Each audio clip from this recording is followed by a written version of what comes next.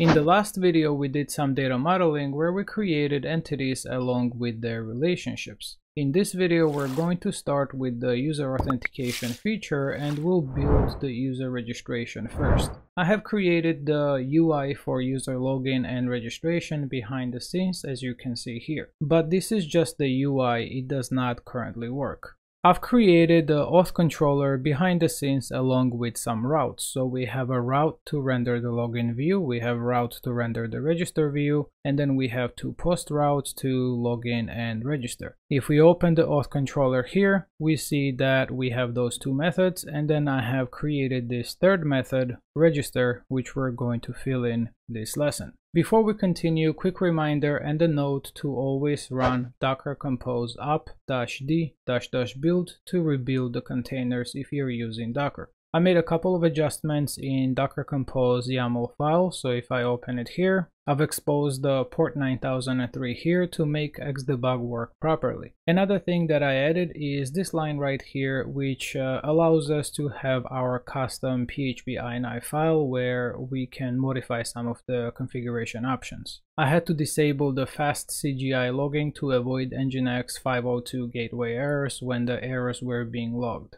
So just make sure that if you're using Docker and Nginx with PHP FPM, rebuild the containers before you start with each lesson. Also make sure to run npm run dev for the front end to build the assets. Alright, so let's begin. First, uh, let's open the auth controller and I kind of want to uh, dump all the request parameters that are coming in. I mean the, the post parameters. We can access the post parameters by calling get parsed body method on the request object. So we can do something like data equals request get parsed body and then var dump data. Let's check it out to see how this works. So I'm going to fill this in quick hit register and sure enough we're getting the data here. Ignore my very secure uh, password here, uh, that doesn't matter. So now our goal is to create the user entity and then persist it with the database. That's the first part that we need to do.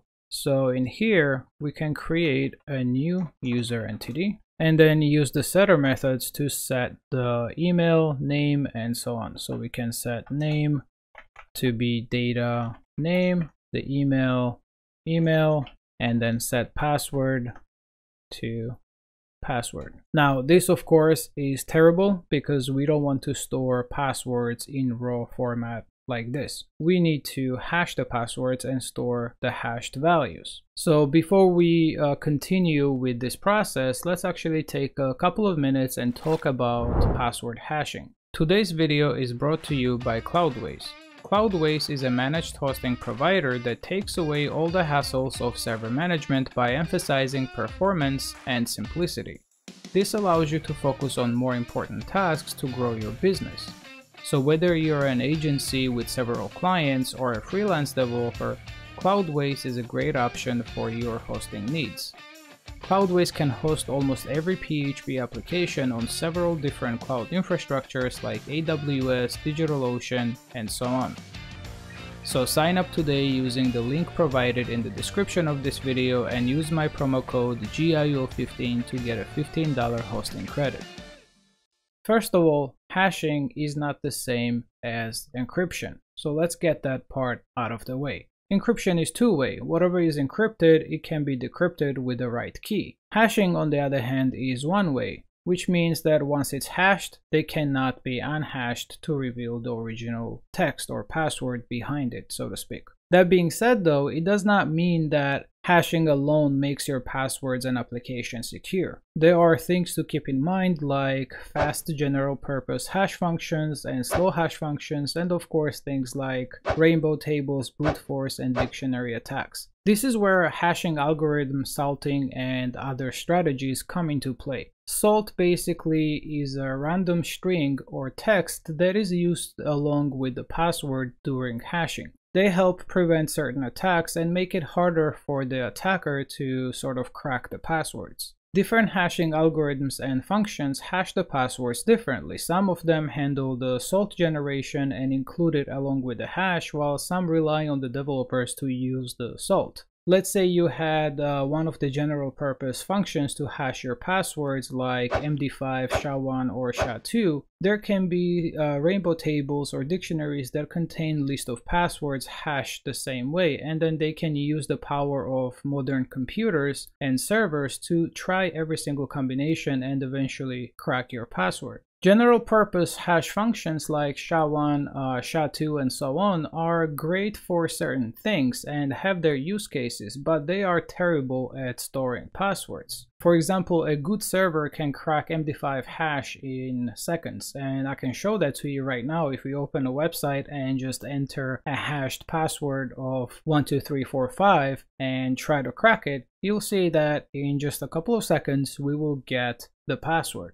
You'll be surprised, but in many cases, they are successful because users don't tend to use very secure passwords and use things like their pet name, date of birth, or some uh, easy to guess digits. You can Google for more information on how the rainbow tables and dictionary attacks work and what they are, but that's uh, why different algorithms and methods exist to make password hashing more secure.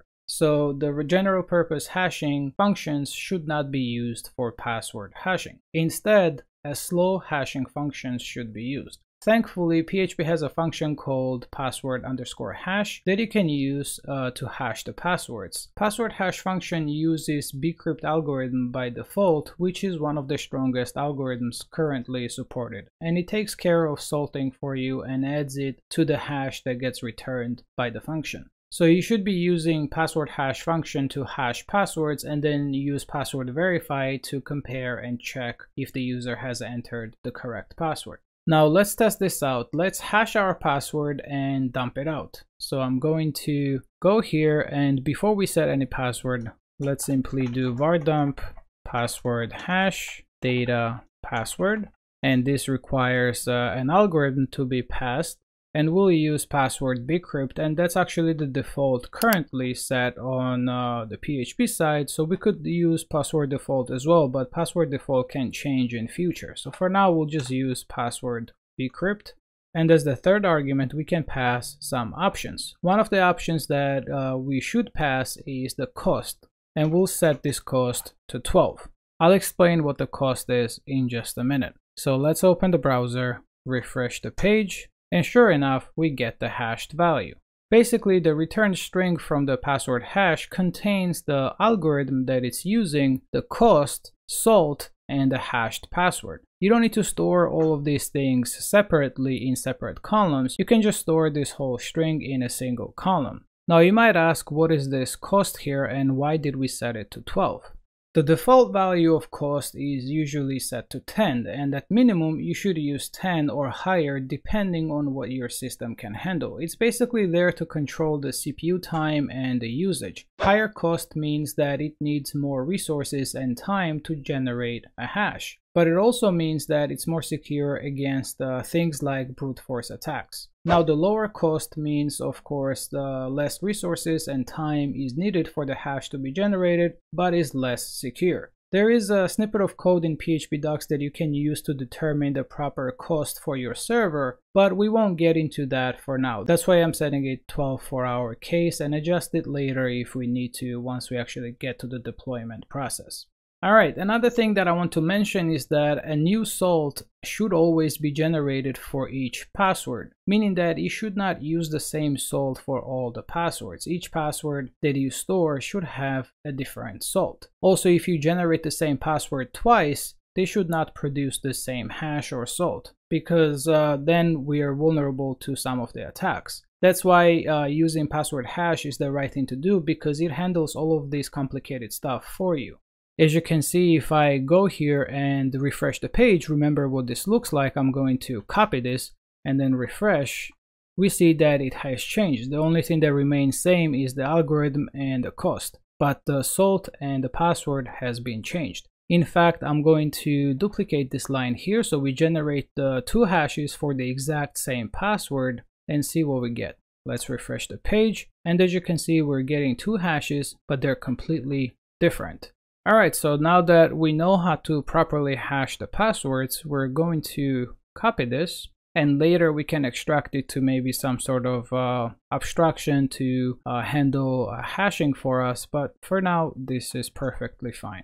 So we'll put this right here and now we need to persist it. And to be able to persist our entity we need entity manager. So we can inject the entity manager in the constructor here and then persist the user and we also need to flush so that it gets saved in the database now I know that we have no validation, but we're just trying to get this to work and then we'll add some validation and make it prettier later. So let's go back to the browser.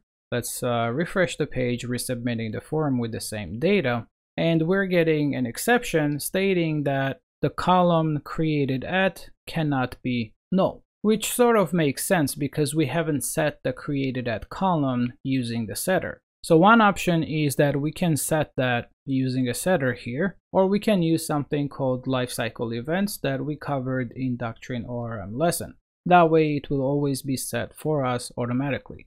So let's go to the user entity and we're going to add has lifecycle callbacks attribute we need a method that will uh, act as a listener and will be invoked before the entity is persisted or updated. So let's create some method here called update timestamps.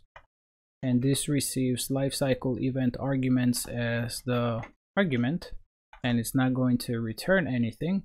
And then we want to trigger this on pre-persist and pre-update.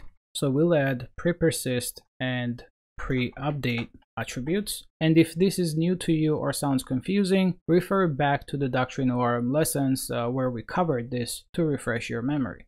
Now within this method, we can set the created at and updated at timestamps. So we can do something like this created at equals new date time.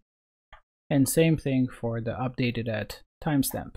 The thing is though, we should uh, really only set the created at if it hasn't already been set before. Because we don't want to keep on overriding the created at date on updates. We only want to update the updated at timestamp on updates, but the created at should only be set if it hasn't already been set before. So we can do something like if the created at is not set, only then set it.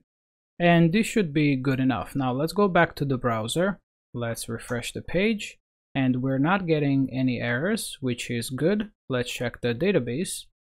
And sure enough, the user has been created with the name, email, and password. And the created at and updated at were set properly. So this is it for this video. Thank you so much for watching. In the next video, we're going to add the validation to our form and that video will be published within a couple of days. So you don't have to wait a whole week for that. I decided to split it up into multiple videos because I don't want to overwhelm you with a lot of information in one single video. So smash the like button if you enjoyed it and subscribe to the channel if you haven't already done so. I'll see you in the next one.